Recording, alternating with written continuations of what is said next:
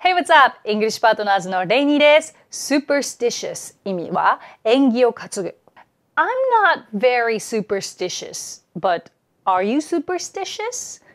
私はそんなに縁起を担ぐ方ではないですけど、あなたはどうですかのように使います。superstitious 聞き慣れないと難しいですよね。一緒に発音の練習しましょう。音節は4つです。superstitious はい。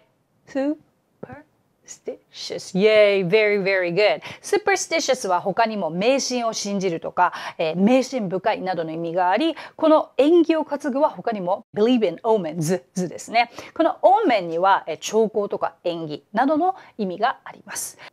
superstitious 意味は縁起を担ぐ。ぜひ覚えて使ってみてください。